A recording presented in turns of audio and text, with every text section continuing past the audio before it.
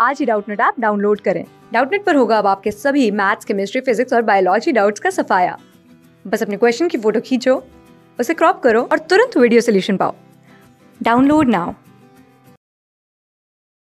Is given that in question, find the find the measurement of the angle which is equal to its complementary angle. Complementary angle क्या होता है? सबसे पहले इसको समझ लेते हैं। उसी के बाद तो हम बता पाएँगे कि कौन सा एंगल है जो इक्वल है इट्स कॉम्प्लीमेंट्री एंगल के।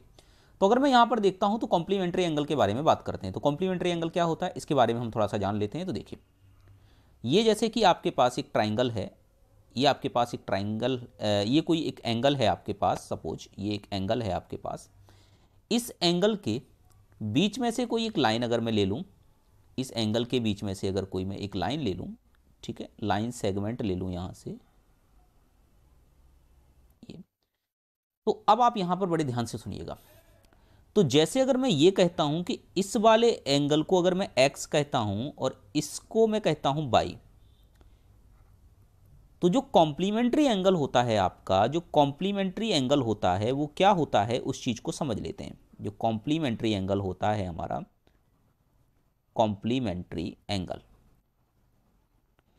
कॉम्प्लीमेंट्री एंगल होता है, इसका मतलब होता है कि sum of two angle equal to 90 degree तो यहाँ पर सम ऑफ़ टू एंगल की बात हो जाएगी, यानी कि कॉम्प्लीमेंट्री एंगल हमारा किसके बराबर होता है? Sum of two angle is 90 degree जो भी हमारे दो एंगल होते हैं किसी भी एंगल के बीच में, उनका सम हमारा कितना होना चाहिए? 90 डिग्री होना चाहिए.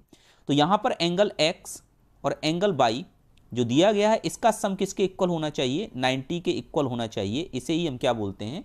कॉम्प्लीमेंट्री एंगल का सम बोलते हैं. अब यहाँ से बड़े ध्यान से सुनिएगा कि इसका मतलब ये हुआ कि अगर एंगल एक्स आपका, अगर एंगल एक्स आपका 30 डिग्री है तो इसका कॉम्प्लीमेंट्री एंगल बाई बनेगा और एंगल बाई हमारा कितना बनेगा? 60 डिग्री बनेगा। ये इसका कॉम्प्लीमेंट्री होगा। तो अब उसने ये कहा है कि हमें वो एंगल बताना है जिसका कॉम्प्लीमेंट्री भी उसके इक्वल हो। तो जब कॉम्प्लीमेंट्री भी इक्वल होगा तो इसका मतलब क्या हुआ? एक्स बराबर किसके होगा? बाई के होगा। अगर कॉम्प्लीमेंट्री इक्वल होगा तो इसका मतलब यही हुआ कि एक्स बराबर होगा बाई के। तो इस कंडीशन में एल एंगल एक्स और plus angle y equal to अगर हमारे पास 90 डिग्री होता है तो इसका मतलब तो यही हुआ कि एंगल एक्स और प्लस में एंगल वाई की जगह भी एंगल एक्स आ जाएगा और ये बराबर 90 डिग्री के हो जाएगा।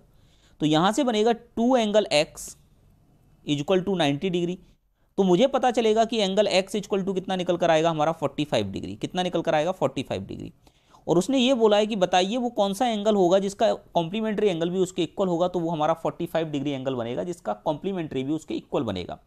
ऑप्शन के पास चलते हैं तो पहला ऑप्शन 90 डिग्री है, इसका कॉम्प्लीमेंट्री तो ज़ीरो डिग्री होगा तो ये तो हो ही नहीं सकता।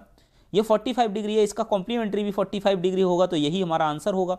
अगर मैं 80 डिग्री की बात करूँ तो इसका कॉम्प्लीमेंट्री तो 10 डिग्री होगा तो ये भी हमारा आंसर नहीं होगा। 100 डिग्री है तो इसका तो कॉम्प्लीमेंट्री बनेगा ही नहीं, क्योंकि सम ऑफ़ कॉम्प्लीमेंट्री एंगल ही 90 डिग्री होता है तो ये तो होगा ही नहीं।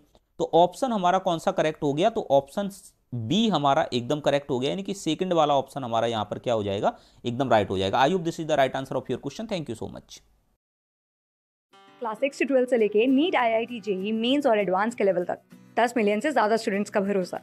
आज ही डाउनलोड करें डाउट नेट आप या व्हाट्सअप कीजिए अपने डाउट्स आठ पर।